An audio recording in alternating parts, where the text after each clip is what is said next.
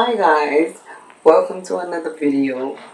Um, thanks for tuning in. And today we're gonna be making what? Walnut milk. milk. Walnut milk. Walnut are great, are a great source of omega threes, which are great for your heart health. They are very good for your brain health as well, and they they aid in losing weight and very very good for your overall well-being. Today we're just gonna show you how to make it, and if you enjoy, if you like, um, let us know, comment, and subscribe. All right, here are the Walnuts.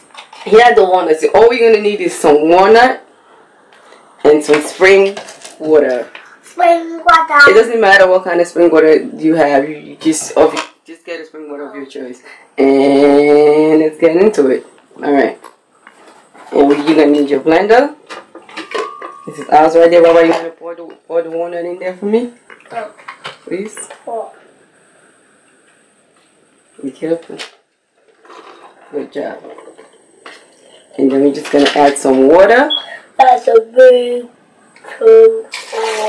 It's t- t- typically, I would use a thirty for a cup of Oh, walnut. what is this for? For a cup of water, we use a thirty-two ounce um water, and that should be excellent. It should be just enough for um a a, a, a bottle or jar of walnut milk. Okay, turn it on, and then turn it on low.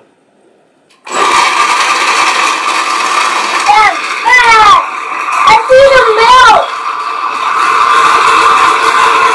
I see the walnut. I can still see the walnut.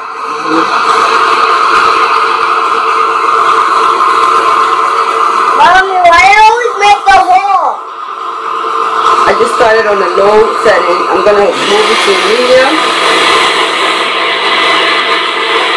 Mommy, why does it make a hole? And then we're gonna move it to a high setting.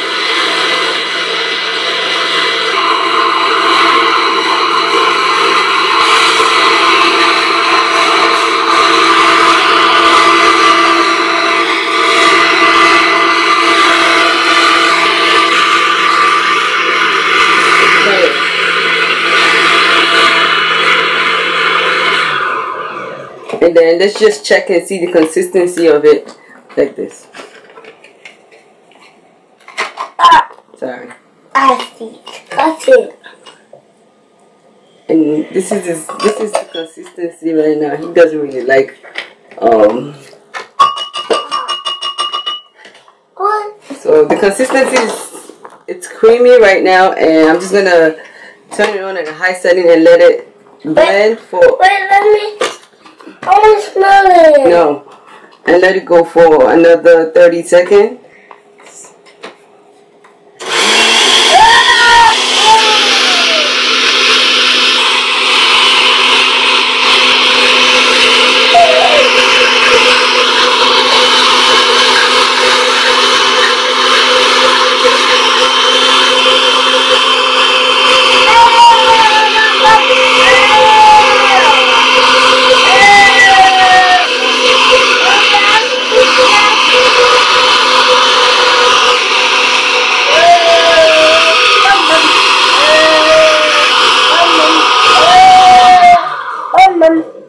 As you can see, I added water while it's blending so everything could just blend in smoothly together. I'm just gonna add the rest of the water. What are you doing? Smelling. Ah. Disgusting. Don't close it, that's fine. And here is the consistency now. It's a milky and watery. And this is milk, and then we're just gonna strain it, and we should have our milk. Don't put it on the camera.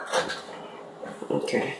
Camera. This is my I don't like you. I'm not doing a video. this is my little strainer that I use. I find it very convenient because it's just I think it's just made from milk. I don't know what it's called. I think it's like a cheesecloth made into something. I don't know what it's called. But when I go back to buy when I go back to buy another one, I'm just, I'm just gonna pay attention to what it's called and I, I share that with you guys.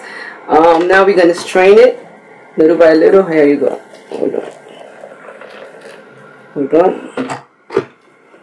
And this is how it comes out. I hope you can, you guys can see it. Move, move your hands. Really?